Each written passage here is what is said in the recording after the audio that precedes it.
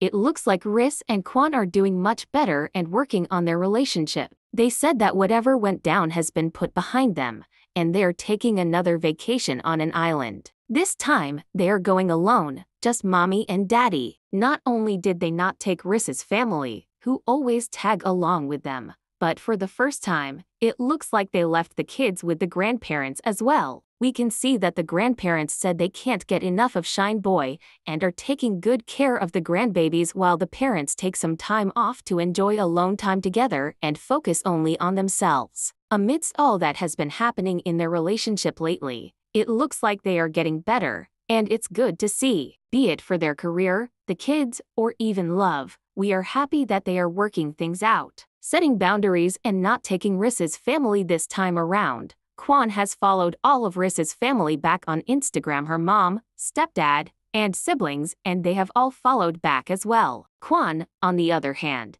is looking much better than he did the last couple of days, and it looks like they are back in business and have a wedding to plan. Mr. Beast's very close friend, Chris Tyson, now Ava Kris Tyson, is out of the Mr. Beast Association. Chris has lately been surrounded by allegations of talking to minors in inappropriate ways online, among other things. Although Chris announced that he would be stepping away from Mr. Beast, Mr. Beast himself has officially announced that he has disassociated himself from her after investigating the matter and that he would not condone such behavior around him and his company. Many believe there is no way Mr. Beast or anyone from his circle would not have known what she was doing. Many influencers and YouTubers have not said anything about it, and it is believed this is because Mr. Beast is the biggest YouTuber in the world, and they would not risk getting on his bad side and losing future collaborations. Although not directly about him, we all know that he and Chris have been together since high school, with Chris being his first subscriber and best friend. Many believed at the time that Chris decided to transition, it would be the end of Mr. Beast.